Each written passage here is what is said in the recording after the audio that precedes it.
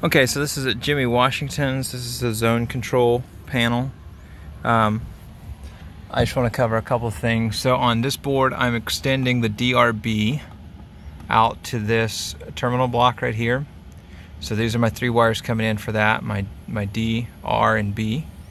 Then I'm taking and uh, routing the 24 volts that goes to the actual indoor unit. We're working on the TM6 air handler right there. So I'm routing the 24 volts from here into the air handler and then I've got the BK wired up, the G, and I've got W1 and W2 wired up. Here I've got the D, excuse me, the B and the D piped over to the D and B on the indoor relay panel and then I've got the DRB zone sensor. This is for the upstairs zone.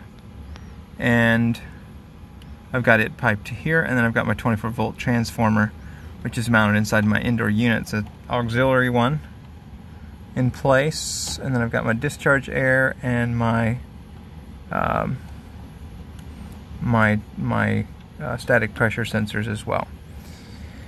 All right, so my issue that I'm having though is that you can see on my relay panel here, I've got my COM, one, two, three, and I've got a green light on my bitmaster.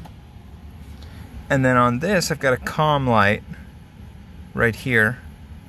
Um, and it's rapidly flashing. Now, I was concerned that maybe there was an issue with how this COM indoor sensor was wired. So I uh, checked that and I did do a reset on this board and when I do reset it only gives me a 2 flash. So my relay panel is getting a 3 flash and my actual uh, zone board is getting a rapid flash or 2 flash if it's actually communicating correctly. And while it's doing a 2 flash, excuse me, while it's doing this rapid flash, I'm getting a 12.54 volts DC reading right there across my D and B. And if I check my D and B, oh, see if I can get my leads in there. Right there, I'm getting a 12.54 volts DC reading as well. Now I did try taking and disconnecting it at the sensor and see if this fault code would go away where it's rapidly flashing, but it won't. Uh, if I do that, then it just stays solid. It doesn't communicate at all and get a 16 volt DC reading between my D and B.